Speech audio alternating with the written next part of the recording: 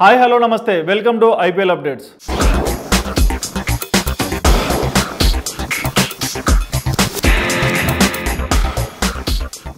వరుస విజయాలతో ఢిల్లీ కుర్రాళ్ళు టోర్నమెంట్ స్టార్టింగ్లో అదరగొట్టేశారు. అసలు ఢిల్లీ ఉన్న ఫామ్ చూస్తే ప్రతి ఒక్కరు ఢిల్లీ డైరెక్ట్ ఫైనల్స్లో ఆడుతుంది ఢిల్లీకి ఆపోజిట్ ఏ టీం ఆడుతుంది అనే ఆలోచనలో పడ్డారు. కానీ రాను రాను రాజగురం గాడిదైనట్టు ఢిల్లీ క్యాపిటల్స్ కూడా అలాగే తయారైపోయారు.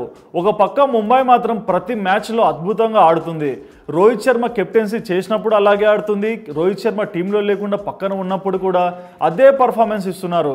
నిజానికి ముంబై టీం కనుక ఏ ఇంటర్నేషనల్ టీంతో ఆడినా సరే ఖచ్చితంగా ముంబై గెలిచే అంత రేంజ్లో ఆడుతుంది. అండ్ ఇవాళ ఖచ్చితంగా గెలవాల్సిన మ్యాచ్లో ఢిల్లీ క్యాపిటల్స్ పర్ఫార్మెన్స్ చూసి మీరందరూ అందరూ షాక్కి గురైంటారు అండ్ ఇవాళ మ్యాచ్లో ఏ ప్లేయర్ ఎలా ఆడారు? అండ్ మ్యాచ్ హైలైట్స్ ఏంటో తెలుసుకుందామా? అండ్ ఇవాళ మ్యాచ్లో పొలాడ్ టూ చేంజెస్ చేశాడు. హార్దిక్ పాండ్యా జేమ్స్ ప్యాటిన్సన్ ప్లేస్లో జయంత్ యాదవ్ నదన్ కుల్టర్నేల్ని తీసుకున్నాడు. మరోవైపు ఢిల్లీలో శ్రేయాస్ అయ్యర్ మూడు చేంజెస్ చేశాడు. ఎందుకంటే ఇవాళ ఢిల్లీ తప్పకుండా గెలవాలి. సో బ్యాటింగ్ని కూడా కొంచెం పెంచుకోవాలి. సో పృథ్వీ షా హర్షల్ పటేల్ ప్రవీణ్ దుబే ఈ ముగ్గురు ఢిల్లీలో వచ్చారు. ప్రస్తుతానికి డిఫెండింగ్ ఛాంపియన్స్ ముంబైకి ఎలాంటి ఇబ్బంది లేదు. ఎందుకంటే టీం చాలా స్ట్రాంగ్గా ఉంది. మరోపక్క సిక్స్టీన్ పాయింట్స్తో టేబుల్ టాప్లో ఉండి ప్లే ఆఫ్స్ కూడా వెళ్ళిపోయింది.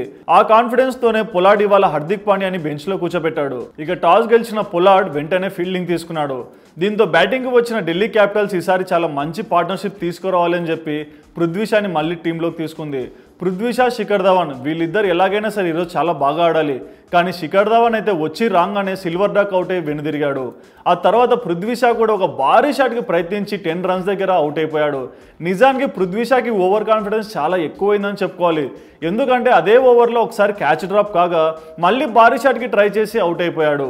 దీంతో ఆ తర్వాత గ్రీస్లోకి వచ్చిన శ్రేయాస్ అయ్యర్ మరియు రిషబ్ పంత్ వీళ్ళిద్దరూ చాలా స్లోగా ఆడుతూ రన్ రేట్ని ముందరికి తీసుకువెళ్ళారు. దీంతో ఢిల్లీకి శ్రేయాస్ అయ్యర్ రిషబ్ పంత్ వీళ్ళిద్దరూ మంచి పార్ట్నర్షిప్ తీసుకువచ్చి మళ్ళీ భారీ స్కోర్ చేసే ప్రయత్నం చేశారు. కానీ దీపక్ చహర్ బౌలింగ్లో డికాక్ సూపర్ కీపింగ్ చేయడంతో శ్రేయాస్ అయ్యర్ స్టెంబోటే అయి వెనుదిరిగాడు దీంతో Shreyas Iyer just twenty five runs చేసి ఇవాళ అవుట్ అయిపోయాడు. ఇక శ్రేయాస్ అయ్యర్ అవుట్ అవ్వడంతో ఢిల్లీ పతనం మొదలైపోయింది.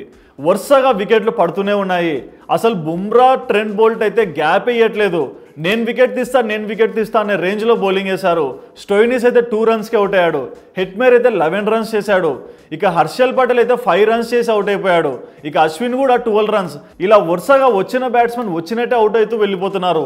ఇక చివర్లో రబడా థర్టీన్ రన్స్ చేయడంతో Delhi score hundred runs cross అయిపోయింది. ఇక Mumbai Indian star pace bowling ముందర ఢిల్లీ క్యాపిటల్స్ చేతులెత్తేసిందని చెప్పుకోవాలి. ఇక ముంబై బౌలింగ్లో బుమ్రా గురించి ఎంత చెప్పుకున్నా తక్కువే.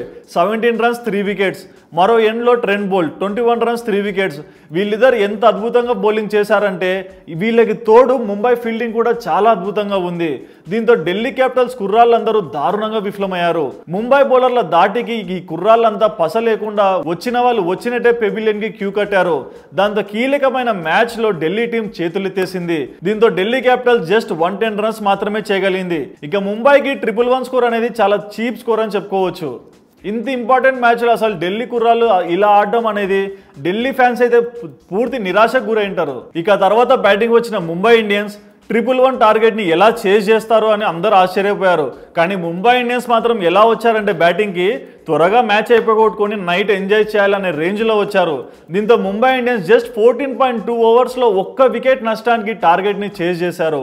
ఇక ముంబై బ్యాటింగ్లో స్పెషల్గా చెప్పుకోవాల్సింది ముంబై ఓపెనింగ్ గురించి. చాలా మ్యాచ్ల్లో ఇషాన్ కిషన్ డికాక్ వీళ్ళిద్దరు చాలా బాగా ఆడుతున్నారని చెప్పుకోవాలి. ఇక ముంబై ఇండియన్స్లో ఇషాన్ కిషన్ అయితే సెవెంటీ టూ రన్స్ చేసి నాట్అవుట్గా ఉన్నాడు. ఇక డికాక్ అయితే త్వరగా అవుట్ అయ్యాడు ట్వంటీ సిక్స్ రన్స్ చేసి.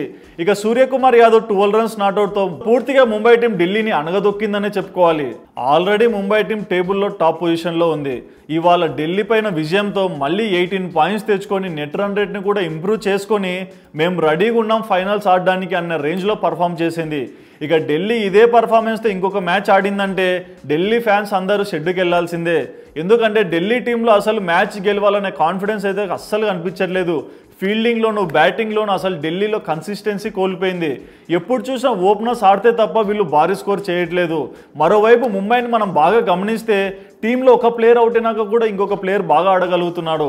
మరోవైపు బౌలింగ్లో కూడా ఒకరు సరిగ్గా వేయకుండా ఇంకొక బౌలర్ ప్రెషర్ని హ్యాండిల్ చేసి వికెట్స్ తీయగలుగుతున్నారు. సో నాకు తెలిసి ఈసారి ముంబై ఖచ్చితంగా ఫైనల్స్కి వెళ్తే కప్పు కొట్టడం ఖాయం. ఇక నిన్న చాలామంది ముంబై గెలు గెలుస్తుందని వన్ సైడ్గా కమెంట్స్ చేశారు. సో ఇవాళ ముంబై గెలిచింది. ఇక రేపు Chennai super kings versus Punjab. చివరి మ్యాచ్లో ధోని ఖచ్చితంగా గెలిస్తే బాగుంటుందని నాకు ఉంది. కానీ పంజాబ్ కూడా చాలా మంచి ఎఫర్ట్స్ పెట్టి ఆడుతున్నారు. పంజాబ్ కూడా గెలిస్తే బాగుంటుందని నాకు అనిపిస్తుంది. ఇక చూడాలి రేపు ఏ టీం గెలుస్తుందో. ఇక నైట్ మ్యాచ్ వచ్చేసి రాజస్థాన్ వర్సెస్ కోల్కతా.